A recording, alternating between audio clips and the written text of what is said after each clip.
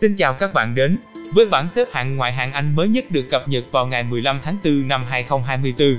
Sau khi có thêm 3 trận đấu diễn ra vào đêm qua, với kết quả gây chấn động như sau. Ở trận đấu thứ nhất, lữ đoàn đỏ Liverpool gây thất vọng khi có trận thua thứ ba ở mùa giải này, ngay trên chính sân nhà Anfield trước một đối thủ được đánh giá yếu hơn. Mặc dù có khả năng kiểm soát bóng lên đến 70% và có những cú sút về phía khung thành của đối phương nhiều hơn, nhưng lần này lữ đoàn đỏ đã không có cú lội ngược dòng ngoạn mục nào nữa. Những chú đại bàng Risto Balak đã bản lĩnh hơn, ấn định tỷ số 0-1 từ phút thứ 13 của trận đấu và giành mất 3 điểm quý giá ở thời điểm cực kỳ nhạy cảm của Liverpool. Ở trận đấu thứ hai, Fulham tiếp tục dập nát đoàn quân Bố tạ thêm một lần nữa với tỷ số 0-2, ngay trên chính sân nhà của Bố tạ. Đây là chiến thắng thứ hai của Fulham trước West Ham ở mùa giải này. Trận đấu thứ ba, không chỉ có mình Liverpool gây thất vọng khi chuồn chân mỏi gối ở vòng vào 13 này, mà ngay cả pháo thủ cũng đáp lại tiếng gọi từ Liverpool khi để những chú sư tử Aston Villa nghiền nát những họng pháo bằng hai bàn thắng chỉ cách nhau 3 phút ở cuối trận. Nếu như ở trận lượt đi chỉ thất bại 1-0 trước Aston Villa, thì ở trận lượt về này khi được chơi trên sân nhà, pháo thủ vẫn lại bại trận dưới tay Aston Villa và với tỷ số 0-2. Không những không báo được thù cũ mà pháo thủ còn đánh rơi quyền tự quyết. Trong cuộc chạy đua ngôi đầu bảng đang ở thời điểm cực kỳ gay cấn. Sau 3 trận đấu đêm qua thì bảng xếp hạng ngoài hạng Anh đã có những thay đổi chấn động. Như sau, vị trí đầu bảng là sự trở lại của đoàn quân Man Xanh Man City sau khi thắng đậm Luton với tỷ số 5-1, cộng thêm sự hỗ trợ nhiệt tình của đại bàng Crystal Palace khi giúp Man City kiềm chân lữ đoàn đỏ, còn sư tử Aston Villa hỗ trợ kiềm chân Arsenal. Và đương nhiên Man City đã không bỏ lỡ cơ hội quý giá này để vượt mặt cả Liverpool và Arsenal. Đoàn quân Man xanh đã âm thầm chờ đợi qua 20 vòng đấu kể từ vòng 13 đến giờ để lấy lại ngôi đầu bảng. Hiện tại Man City có 73 điểm sau 32 vòng đấu, hơn Arsenal và cả Liverpool khoảng cách 2 điểm. Vị trí thứ hai tuần này đã thuộc về pháo thủ Arsenal sau chỉ một vòng được lên ngôi vương. Thất bại trước Aston Villa khiến pháo thủ trắng tay tại vòng 33 và mất luôn lợi thế trong cuộc chạy đua ngôi đầu bảng. Hiện tại pháo thủ vẫn giữ nguyên 71 điểm sau 32 vòng đấu. Với một đoạn đường còn nhiều trong gai hơn, hai đối thủ còn lại và màn sải chân ở vòng 33 này, liệu có còn cơ hội nào cho pháo thủ mơ về ngôi vô địch ngoại hạng Anh năm nay nữa, hay không? Vị trí thứ ba thuộc về lữ đoàn đỏ Liverpool cũng cùng trắng tay tại vòng 33 này. Liverpool không những để Man City vượt mặt về điểm số, mà còn vượt mặt cả về hiệu số bàn thắng. Liverpool hiện tại có tổng 71 điểm và kém Man City 2 điểm. Vị trí thứ tư là sự trở lại đầy oai hùng của những chú sư tử Aston Villa khi tiếp tục đánh bại pháo thủ trên sân Emirates. Với tổng 63 điểm sau 33 vòng đấu Aston Villa xứng đáng ở vị trí thứ tư. Vị trí thứ năm là câu lạc bộ Tottenham, trắng tay tại vòng 33 này khi bị những chú chích chọe đánh bại. Tottenham hiện có 60 điểm sau 32 vòng đấu và vẫn còn kém Aston Villa đang ở vị trí thứ tư 3 điểm.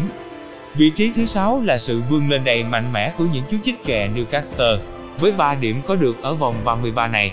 Chích kè chính thức vượt mặt bầy quỷ đỏ và hiện có tổng 50 điểm sau 32 vòng đấu. Vị trí thứ bảy là bầy quỷ đỏ thành Manchester, với việc chỉ có được một điểm ở vòng này. Bao nhiêu đó không đủ để Manchester United trụ vững vị trí thứ 6. Bầy quỷ đỏ hiện có cùng 50 điểm với chích kè, nhưng do kém hiệu số bàn thắng thua nên quỷ đỏ cam chịu xếp sau chích kè một bậc. Vị trí thứ 8, tiếp tục có thất bại thứ hai trước Fulham và trắng tay tại vòng 33 này. West Ham vẫn giữ nguyên 48 điểm sau 33 vòng đấu. Vị trí thứ 9 vẫn tạm thuộc về câu lạc bộ Chelsea. Chelsea hiện có 44 điểm và vẫn chưa ra quân ở vòng 33. Với khoảng cách điểm số và hiệu số bàn thắng bại hiện tại, miễn Chelsea đừng để thua với tỷ số cách biệt hai bàn trong trận gặp Everton tới đây, thì vị trí thứ 9 vẫn thuộc về Chelsea. Vị trí thứ 10 là Mong biển Brighton với chỉ một điểm có được từ trận hòa với Burnley ở vòng 33 này. Brighton hiện cũng có 44 điểm sau 32 vòng đấu. Vị trí thứ 11 thuộc về bầy sói Gu. Tương tự như Brighton có thêm một điểm tại vòng 33 này. Bầy sói hiện có 43 điểm sau 32 vòng đấu. Vị trí thứ 12 tuần này đã trở về với Fulham sau khi có chiến thắng giòn giả trước búa tạ West Ham với 3 điểm trọn vẹn có được ở vòng 33 này. Fulham hiện có tổng 42 điểm sau 33 vòng đấu. Vị trí thứ 13 là câu lạc bộ Bournemouth, có một điểm ở vòng 33 này. Bournemouth hiện có cùng 42 điểm với Fulham nhưng kém hiệu số bàn thắng đến 8 bàn. Vị trí số 14 vẫn thuộc về những chú đại bàng Crystal Palace, Sau khi đánh bại Liverpool, đại bàng hiện có 33 điểm sau 32 vòng đấu. Vị trí thứ 15 vẫn thuộc về bầy ông Brentford. Ở vòng 33 này bầy ông cũng có thêm 3 điểm nhờ đánh bại Sheffield United và hiện có tổng 32 điểm sau 33 vòng đấu. Vị trí thứ 16 đang tạm là câu lạc bộ Everton có 27 điểm sau 31 vòng đấu. Với khoảng cách điểm số hiện tại, thì dù kết quả của trận đấu với Chelsea ngày mai có kết quả thế nào cũng sẽ không ảnh hưởng vị trí thứ hạng của Everton trên bảng xếp hạng. Vị trí số 17 là câu lạc bộ Nottingham Forest, cũng có thêm được một điểm ở vòng 33 này. Nottingham Forest hiện có 26 điểm sau 33 vòng đấu, và chỉ hơn Luton đang ở vị trí thứ 18 có một điểm. Ba vị trí cầm đèn đỏ tạm thời vẫn không có gì thay đổi sau vòng 33. Vị trí thứ 18 vẫn thuộc về Luton với 25 điểm. Hiện tại Luton chỉ kém Nottingham Forest ở vị trí thứ 7 có một điểm, nên nếu như đủ cố gắng và đủ may mắn, Luton vẫn còn rất nhiều cơ hội để vượt qua Nottingham Forest và trụ hạng ở mùa giải này. Vị trí thứ 19 là câu lạc bộ Burnley, với một điểm có được ở vòng 33. Hiện Burnley đang có 20 điểm sau 33 vòng đấu. Vị trí cuối bảng là câu lạc bộ Sheffield United, với chỉ vỏn vẹn có 16 điểm sau 32 vòng đấu. Video đến đây là hết rồi.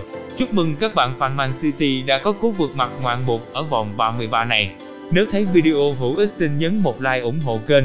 Xin chào và hẹn gặp lại các bạn ở video lịch thi đấu ngoại hạng Anh vòng 34 nhé.